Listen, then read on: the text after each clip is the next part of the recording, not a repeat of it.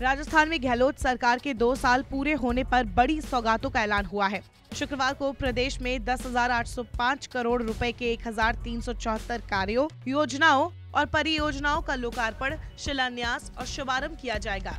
इस दौरान पिछले दो साल के कार्यकाल के दौरान राज्य सरकार की ओर से किए गए कार्यों को भी बताया जा सकता है।